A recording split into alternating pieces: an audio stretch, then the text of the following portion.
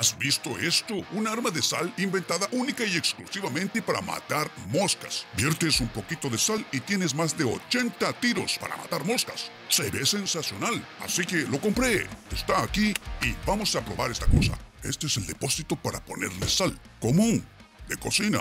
Una medida como esta rinde aproximadamente 80 disparos. Hacemos la sal, cerramos, jalas aquí, clac, clac. Cuando subió esta pieza, Ramón, significa que está cargada.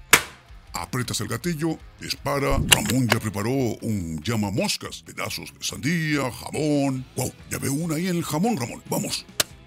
Toma. Está viva todavía. ¡Wow! Esa quedó clavada y esa sigue viva, Ramón.